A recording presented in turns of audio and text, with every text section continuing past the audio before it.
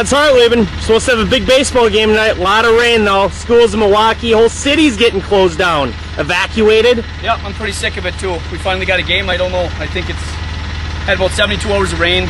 Field's underwater. Uh, we got to do some drastic, some drastic action here. Uh, we got rained out last week against Manawa, and they beat us the first time, one nothing. I mean, Are you actually considering fixing the field? Our field's underwater. Absolutely. It's an actual river. absolutely.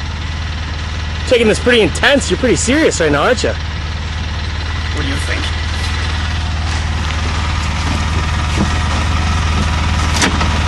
Serious is my middle name.